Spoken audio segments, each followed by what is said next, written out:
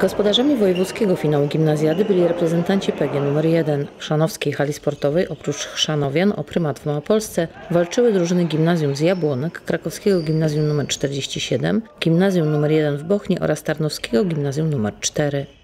Oprócz drużyny Starnowa faworytem zawodów byli gospodarze, bowiem w tegorocznej gimnazjadzie publiczne gimnazjum nr 1 wystawiło mocną i doświadczoną reprezentację. Zespół jest oparty y, z, z klasy sportowej, tak, a natomiast oni na co dzień reprezentują, również trenują y, popołudniami w PEMO z Szanów.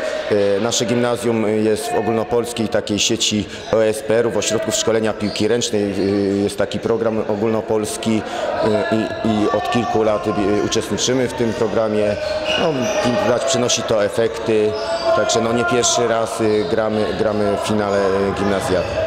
Gospodarze swój udział w zawodach rozpoczęli od zwycięstwa 9 do 6 z reprezentacją gimnazjum nr 47 w Krakowie. Kolejny mecz z Bochnią również potoczył się po myśli Chrzanowian i zawodnicy z PG1 zwyciężyli 11 do 9. I Jest trudno, bo każdy mecz, każdy może z każdym wygrać. Bardzo mocne zespoły y, z Krakowa, z Tarnowa, y, z Bochnią. Y, Również teraz toczyliśmy zacięty bój, wygraliśmy 11-9. Także no, niespodzianki na pewno się zdarzają.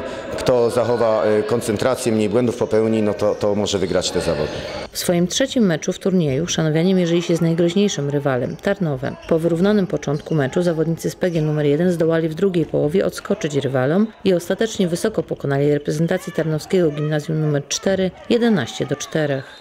Ostatni mecz z najsłabszym zespołem zawodów Jabłonką był już jedynie formalnością i PG nr 1 zwyciężyło 14 do 9. Dzięki czterem wygranym podopieczni Stanisława Malczewskiego i Rafała Bugajskiego zajęli pierwsze miejsce w zawodach, wyprzedzając zespoły Starnowa i Krakowa. Będziemy e, reprezentować e, Małopolskę e, w ogólnopolskiej gimnazjadzie, w której już kilka razy nasza szkoła uczestniczyła. Również udało nam się e, w poprzednich latach zająć wysokie miejsca, a nawet wygrać, wygrać kiedyś. Już za miesiąc chrzanowianie wystąpią w ogólnopolskim finale gimnazjady, gdzie zmierzą się z najlepszymi drużynami z całego kraju. Zawody zostaną rozegrane w Elblągu w dniach od 18 do 21 czerwca.